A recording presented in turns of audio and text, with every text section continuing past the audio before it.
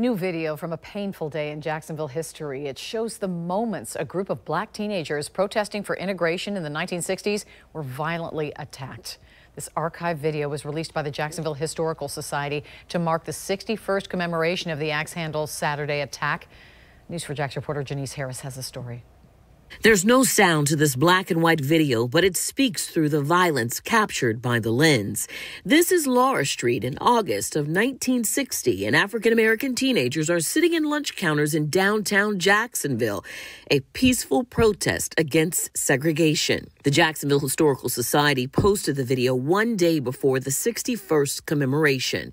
This rare footage was found through a collaboration. Mitch Hyman with the Jacksonville Historical Society explains. Here, locally, locally there was a sort of a media blackout, so there was very little coverage of it, um, which meant very little footage, very little documentation of it. Uh, but even 61 years later, um, if you if you dig properly and you do the right research, you can still find this type of information. In the video, you see a mob of white men. Then the video jumps to a group of men running. 18 seconds into the video, African Americans are being beat with axe handles, punched in the face, and thrown to the ground.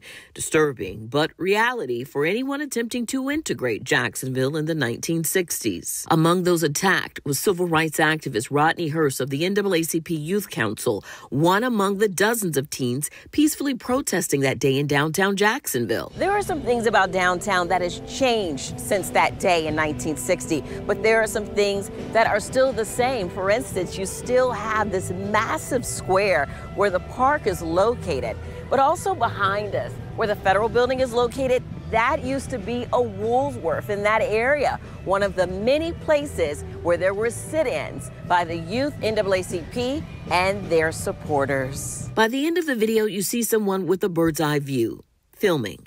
Then it abruptly ends.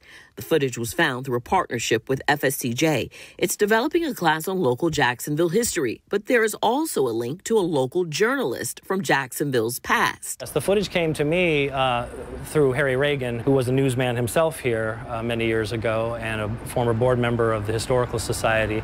He worked some connections from, from his CBS days himself and uh, got in touch with Scott Croft uh, with 60 Minutes originally and uh, they were able to find some footage in the CBS archives in Manhattan. Local media and newspapers did not cover the attack when it happened, but this video is among few that proves it happened and the violence was real.